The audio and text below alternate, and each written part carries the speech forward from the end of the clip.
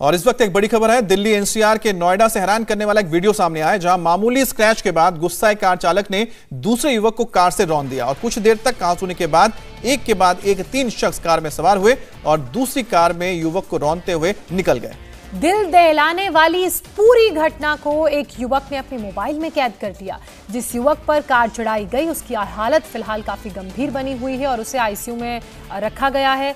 लगातार उसका इलाज जारी है, लेकिन आप देखिए किस तरह से ये पूरा घटनाक्रम पेश आया। दरअसल ये पूरा मामला एक स्क्रैच से शुरू हुआ था।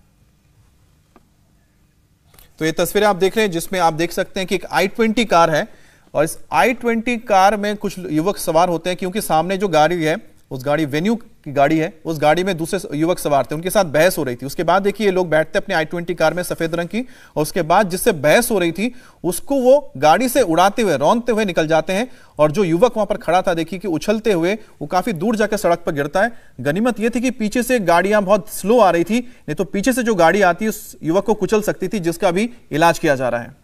अमित ये पूरा जो विवाद है, ये सिर्फ़ एक स्क्रैच से शुरू हुआ था। एक स्क्रैच जो जिस युवक को कुचला गया है, उसकी गाड़ी से, जिन युवकों ने कुचला है, उनकी गाड़ी पर लग गया था और किस तरीके से विवाद हुआ कहा सुनी हुई, उसके बाद आक्रोशित युवक गाड़ी में बैठे, सफ़ेद रंग की गाड़ी और आगे खड़ी गाड़ी और उस साइड में खड़े युवक पर वो चढ़ा के सीधे अपनी गाड़ी को आगे लेकर भाग गया। गनीमत ये रही कि वहाँ पर और भी लोग मौजूद थे। देखिए ट्रैफ़िक भी रुक गया, बाकी लोग भी इस पूरे घटनाक्रम को देख रहे थे कि दरअसल हुआ क्या? शायद किसी को समझ ही नहीं आ पाया। पाया होगा कि इतनी जल्दी में क्या हुआ। और बिल्कुल और... पीछे आप देख सकते हैं कि वहाँ पर एक ट्रक भी वहाँ से गुजर रहा था। हाँ। देखिए ट्रक वहाँ से गुजर रहा है और शायद उसे किस्मत अच्छी थी कि ट्रक उसके ऊपर से नहीं गुजरा है लेकिन यहाँ पर जो बहुत ही मामूली सी आप कह सकते हैं कि रोड रेज का मामला है जहाँ पर स्क्रैच लगा दोनों में बहस हुई।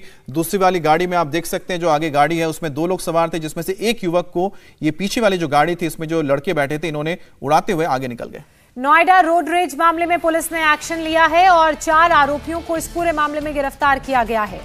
और नोएडा के जीआईपी मॉल के पास से गिरफ्तारी हुई है। वहीं वारदात में इस्तेमाल गाड़ी को भी पुलिस ने जब्त कर लिया। अलग अलग धाराओं में केस दर्ज करके पुलिस अब मामले की जाँच कर रही है। तो आप देख सकते हैं, यही वो चार लोग हैं जिनकी कल बहस हो रही थी। ये एक आई ट्वेंटी सफ़ेद गाड़ी में सवार थे और जिस गाड़ी के साथ इनकी बहस हुई थी, वो बिल्कुल उससे आगे खड़ी थी, जो वेन्यू कार है, उसमें दो लोग सवार थे। जब बहस हुई स्क्रैच लगी थी, फिर दोनों गाड़ियाँ रुक गई, आपस में बहस होने लगी।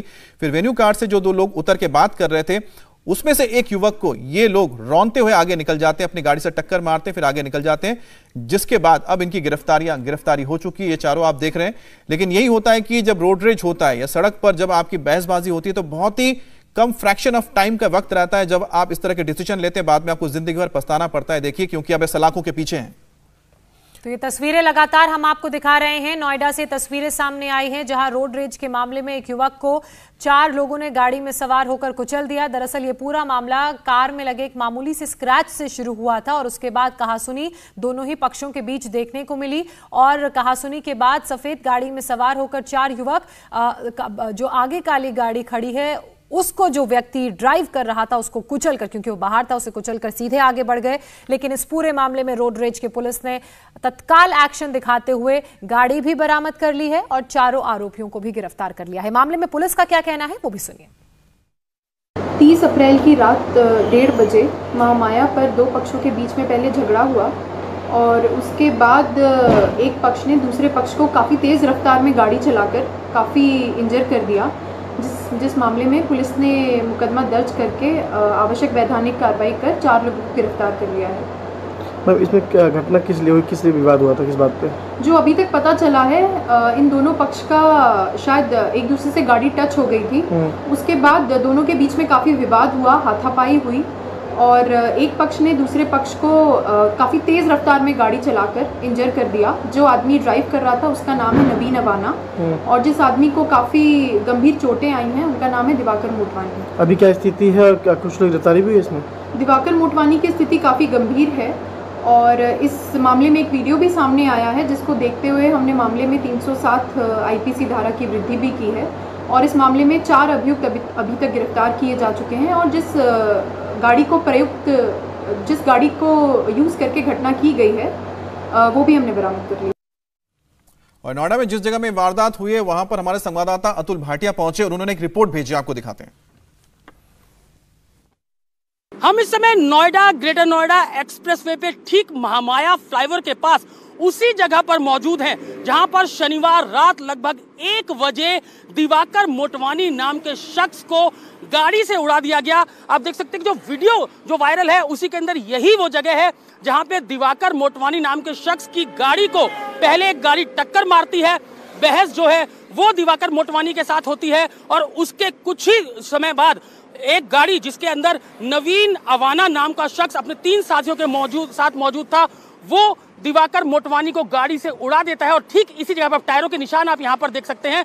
यही वो टायरों के निशान है जब दिवाकर मोटवानी को नवीन अवाना जो खुद ड्राइव कर रहा था अपनी कार को, वो अपनी गाड़ी से उड़ाता है। पहले जब गाड़ी टच होती है, नवीन अवाना जो है गाड़ी से टक्कर होती है उसकी दिवाकर मोटवानी की और उसके बाद काफ़ी देर तक बहस होती है और बहस होने के बाद जो जो नवीन अवाना है, वो अपनी गाड़ी से, तेज गाड़ी से हिट करता है और वीडियो के अंदर वायरल वीडियो के अंदर देखा जा सकता है कि जो दिवाकर मोटवानी है, वो काफ़ी ऊपर तक हवा में उछलते हैं, उसके बाद नीचे गिरते हैं, जिसके बाद जो उनके साथ एक शख्स था, वो पुलिस को कॉल करता है, पुलिस मौके पर पहुँचती है, और जो दिवाकर मोटवानी है, उनको अस्पताल में भर्ती कराया जाता है, जहाँ पर उनकी हालत काफ़ी सीरियस बनी हुई है, और जो वीडियो वायरल हुआ है, उसके अंदर देख सकते हैं, ये सामने ठीक फिट फुट ओवर ब्रिज है, और उससे पहले ही यह घटना होती है, यहाँ पर आप देख सकते हैं, गमले जो यहाँ पर जो वायरल वीडियो के अंदर दिख रहे हैं, पहले ये येलो जो है वो गमला है उसके बाद ये ग्रीन गमला है और ठीक इस गमले के पीछे एक शख्स जो है वो अपनी गाड़ी के अंदर मौजूद था।